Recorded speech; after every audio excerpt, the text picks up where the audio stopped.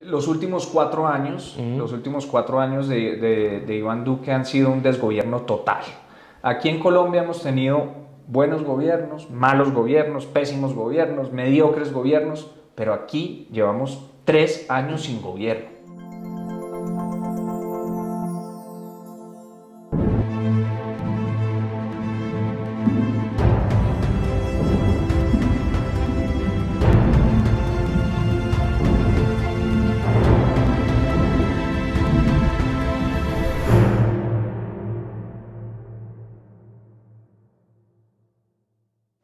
Hola amigos de Diario Criterio, bienvenidos a esta conversación que vamos a tener con Miguel Samper Strauss. Miguel, bienvenido, ¿cómo estás? Muchas gracias Alejandro, muy bien, afortunadamente, muchas gracias por la invitación. No, gracias a ti. Miguel, eh, tu papá ha tenido una vida política con sobresaltos y ha tenido una larga trayectoria. ¿Por qué decidiste meterte en este, en este mundo tan difícil de la política? Bueno, tal vez los únicos insensatos de toda la familia Samper eh, que nos metimos en el mundo político fuimos eh, mi papá y yo, porque el resto, pues tengo un hermano mayor que es mucho más sensato, que se dedicó a la, docencia, eh, tengo un hermano menor que es todavía más sensato y se dedicó a, formar empresa, que en este país es una verdadera proeza. Eh, y digo que son más sensatos porque mis antepasados, mis abuelos, eh, pues mi abuelo paterno murió dictando clase en un atril, eh, mi abuela materna hasta sus últimos días manejaba un colegio, entonces tal vez esa relación con la docencia o con el periodismo por el lado de, de, mi, de mi primo y de mis tíos siempre han sido mucho más gratas de ejercer que la política, especialmente en este país, pero a mí pues la vocación con el, con el servicio público, con servirle realmente a la gente, eh, no solo empezó acompañando a mi papá las giras, acompañando a entregar programas sociales como el CISBEN, por ejemplo, que es la salud subsidiada, o entregar la mesada 14 precisamente para los docentes, que es una prima adicional que se les entrega, sino también surgió porque mis primeros pinos en el servicio público fueron para promover proyectos muy importantes como por ejemplo el proyecto de ley de víctimas y de restitución de tierras. Yo estuve a cargo del equipo que desde el gobierno redactó el proyecto de ley, lo presentó al Congreso y lo sacó adelante. Y desde ahí yo empecé a sentir cómo le, le hierve a uno la sangre para despertarse cada día y hablar con la gente. Eso es algo yo creo que eh, a este gobierno sí que le ha hecho falta y es es conversar con la gente, salir a la calle y hablar con las víctimas del conflicto armado que han sufrido todos los rigores del conflicto. O, por ejemplo, en mi última experiencia en el sector público, que fue en la Agencia Nacional de Tierras, charlar con las comunidades campesinas, con las comunidades étnicas, cuando yo iba a entregarles el título de propiedad. Y esa vocación es algo que me llevó a mí a, montar este proyecto ya político electoral, porque he estado en, en la política pública mucho tiempo y un proyecto que tiene las bases eh, sociales, obviamente nosotros no significamos renovación en la política, pero sí queremos retomar esas banderas sociales que el gobierno de Samper tuvo en su momento y las mías propias, porque yo no, no solo soy hijo de, sino yo también tengo mis propios hijos en, en, materia de política pública, como es la ley de víctimas y todos los títulos que entregamos en la Agencia de Tierras. En, la, en tu iniciativa Jóvenes para Jóvenes, tú planteas unas reformas precisamente estructurales o de fondo? ¿Cuáles son? En el tema joven, eh, yo creo que el gobierno se ha ido por los lados. Está diciendo que vamos a financiar el 25% de la seguridad social, pero las empresas hoy en día no, no tienen capacidad, si a duras penas sobrevivieron a la pandemia las empresas, en este momento, por más de que les subsidien la cuarta parte de un salario, no van a crear un puesto de trabajo nuevo para los jóvenes simplemente porque les van a bajar el costo del salario lo que se necesita hacer en este momento de crisis es aplicar medidas que son excepcionales. Y lo podría hacer pasado mañana el gobierno creando un empleo de programa joven con función social, por ejemplo, implementar el programa de empleo joven para guardabosques, porque estamos deforestando todas las hectáreas, 200 mil hectáreas al año en nuestros bosques y selvas, que eso es algo inaceptable. Eh, podríamos implementar la economía del cuidado para las mujeres jóvenes, todo pagado por el Estado. Es que aquí el, gobierno piensa distinto, que nos tenemos que apretar el cinturón. No, este no es momento de apretarnos el cinturón, es momento de inyectarle a la economía todo lo que requiere en materia social y de generación de empleo, empleo de choque público financiado por el Estado y no cargarles el lastre o el peso de la reactivación económica a las empresas. Eso no va a funcionar. Juan Fernando Cristo se dice que es tu padrino. ¿no? ¿Cómo está tu relación con él y con su movimiento En Marcha? Eh, Juan Fernando Cristo trabajó en el gobierno de Samper, después tuvimos una muy, muy buena relación, él como ministro de Interior y yo desde la Agencia Nacional de Tierras, ahí promovimos muchísimas iniciativas y proyectos. Cuando él era congresista, yo estaba desde el gobierno impulsando y liderando el equipo que sacó adelante la ley de víctimas y de restitución de tierras, en el cual Juan Fernando Cristo jugó un papel fundamental. Yo creo que él tiene una, una visión de país que se acerca mucho a lo que estamos proponiendo de retomar esas causas sociales. Estamos acompañando el proceso de, de, su, de su, grupo en En Marcha, que es un, un grupo interesante, porque estamos participando en la coalición de la esperanza. Que lo más llamativo de la coalición de la esperanza es que está conformando una lista de nombres y hojas de vida con experiencia probada en el ejercicio público para proponer una lista soñada de gente que quiera servirle al país con transparencia, sin cometer los errores de los políticos tradicionales, sino haciendo las cosas bien hechas. Por eso es que a mí me entusiasmó el proyecto de la coalición de la esperanza y estamos acompañando eh, la consolidación de esta coalición de la esperanza alejada de todos los extremos y proponiendo soluciones de fondo, soluciones de raíz. ¿Y cómo ves la carrera presidencial para 2022? Bueno, hay bastante incertidumbre. Yo lo que veo es que hay un ramillete muy amplio de candidatos. A mí, a contrario de lo que piensan varios eh, comentaristas que dicen otro precandidato, entre más opciones tengamos de dónde escoger todos los colombianos, es mucho mejor porque es un debate democrático mucho más amplio. Y sí creo que la llegada de Alejandro Gaviria fue una llegada afortunada porque enaltece el debate, le aporta nuevas ideas al debate de, de, la coyuntura nacional y por supuesto yo estaré jugado ya como senador electo de aquel candidato que salga de la consulta del centro, la consulta alejada de los extremos.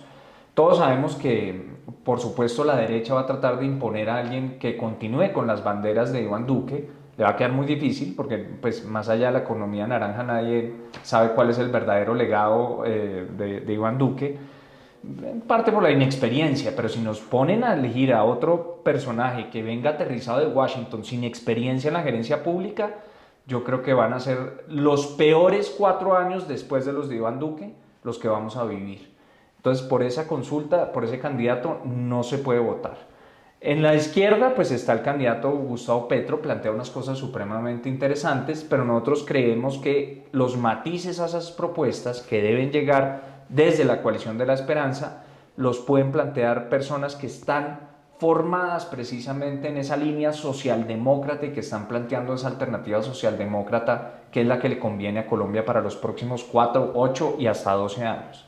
Pero te veo más alineado, si hubiese que elegir, te veo más alineado hacia la izquierda de Petro que hacia un candidato de centro derecha.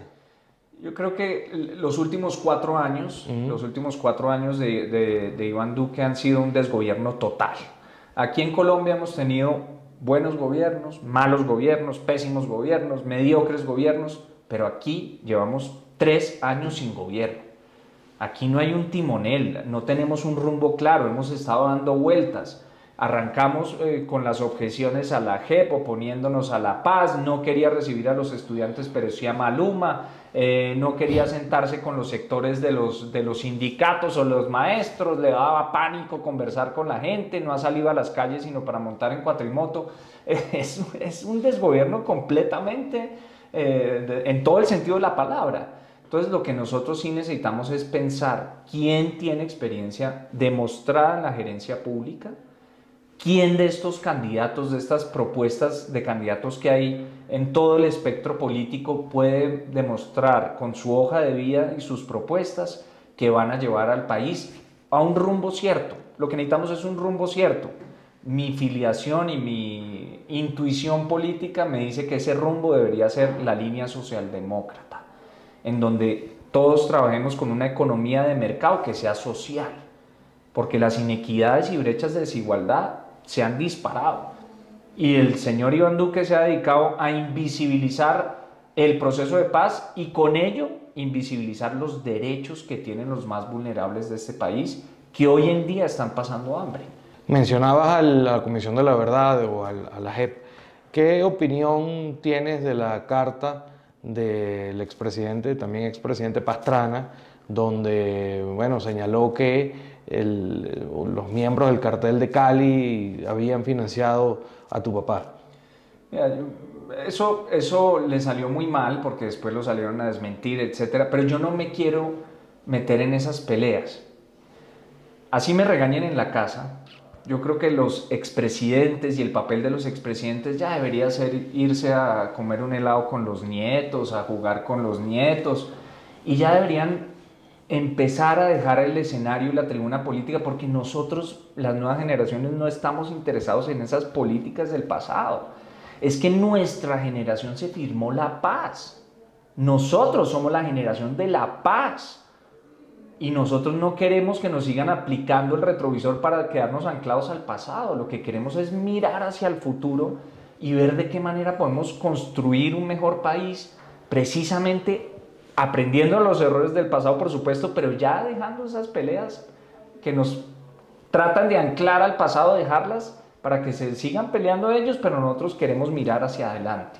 Miguel, más allá de que es evidente que a nadie le gusta eh, responder por o, que lo cataloguen de hijo de...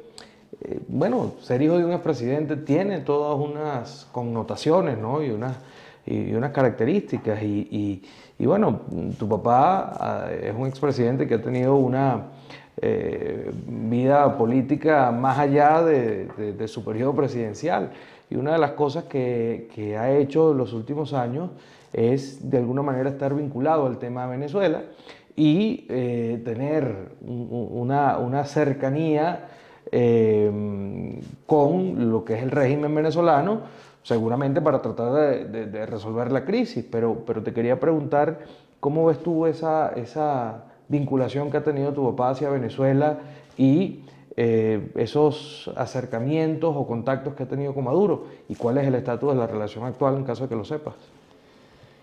Esa, esa relación hoy se encuentra bastante enfriada, bastante distanciados. Ellos empezaron eh, a partir cobijas, como se dice coloquialmente, cuando, cuando mi padre le dijo que la Asamblea Constituyente era un salto al vacío. Yo recuerdo muy bien que con ese titular se enfriaron las relaciones y se mantuvieron antes por una cuestión institucional, y es que eh, se conformó un equipo económico del mayor nivel en Latinoamérica para darle ciertas recomendaciones al, régimen de, Maduro en su momento.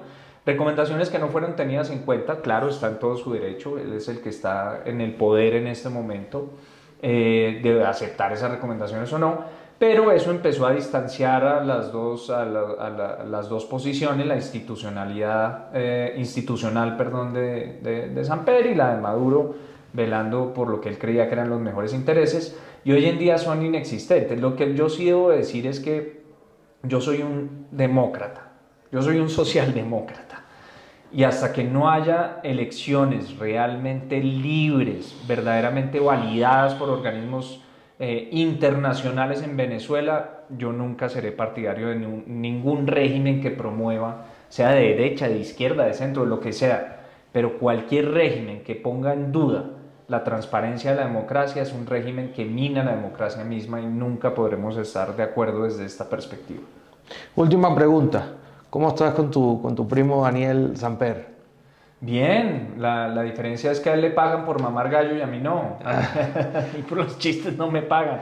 ¿Has ido a la obra? Bien, fui a la obra, fui a la obra, también nos echa vainazos. Eso, ese, es, esa sátira política es muy necesaria porque es una forma no solo de opinión, sino es una crítica que permite eh, en democracia de nuevo construir y que los gobernantes corrijan el rumbo cuando puedan hacerlo. Lo que pasa es que sí le ha quedado muy fácil, porque es que en tres años, tres años de Duque, que cada año equivale a, a, siete años de humano normal, pues le ha quedado mucho más fácil hacer sátira política porque le da mucho material todos los días de, de, cualquier eh, obra de gobierno, cualquier embarrada del, del, presidente, pues le da mucho material. Ahora le corresponde a uno ver qué tanto material le va a dar a, a, Daniel en este ejercicio político para retomar las causas sociales que necesita el país. Vamos a ver cómo nos va. Bueno, Miguel, muchísimas gracias por acompañarnos hoy en este, en este espacio de conversaciones. Esperamos tenerte de vuelta pronto. Cuando ustedes quieran, muchas gracias. Muy grata la conversación. Y a ustedes amigos, pues nos encontramos en una próxima oportunidad.